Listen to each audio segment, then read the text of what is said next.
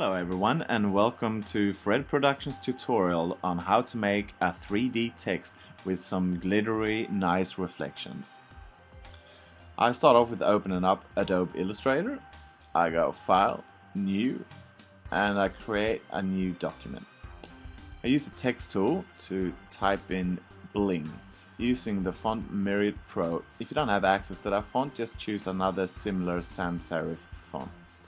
I'm gonna resize it and I type in 144 points and I'm gonna set it from regular to bold. Now I need to go and get a gradient which I'll find in my swatch library. I use the rectangle tool just to draw a little box.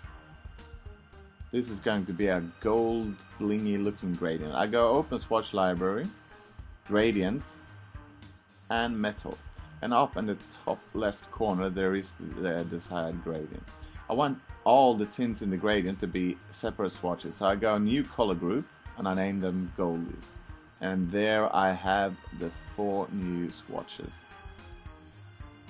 I go and I select bling and I'm gonna choose the one that I look looks more the most like gold. I go to a reflection tool, double click on it, horizontal and copy. Now this is going to be my reflection.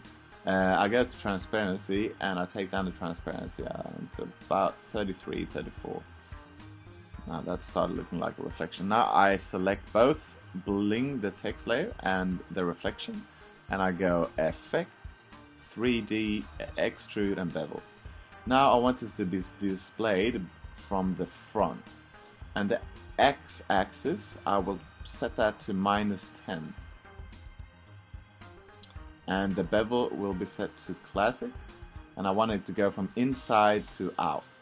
Now I'm going to turn off the ambient light trying to create some kind of uh, studio feeling with just a couple of light settings.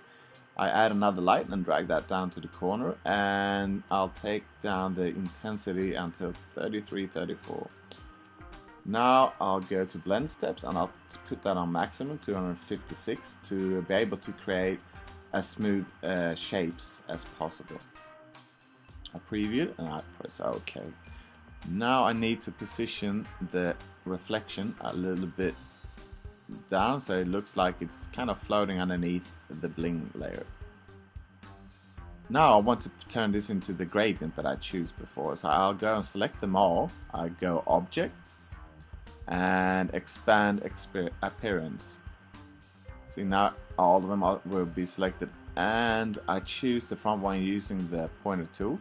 I go select same fill color.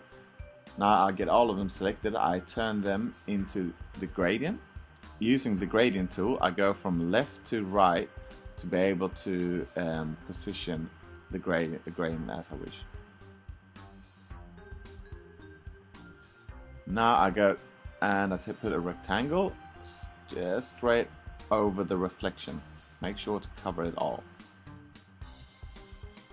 Now I want another gradient. I want the gradient to go from white to black. So I have to go in and change the settings since I can't find the default gradient.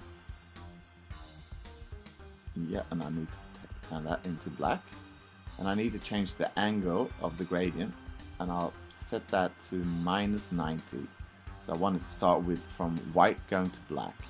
Yeah, just like that. Now I'm going to select both the, ref the reflection and the gradient. And I go to transparency. And I go make opacity mask. I'll just turn that off so you can see what the outcome is so far. And then I go highlight it, go back to the opacity mask, double click on it, and then I can edit it so I'll just choose to make it a slightly smaller so it turns, fades away out into white. Now this is the final outcome. I hope you have enjoyed this tutorial as much as I have. My name is Henrik Lindblad and I hope you will be back for another tutorial. Thank you very much.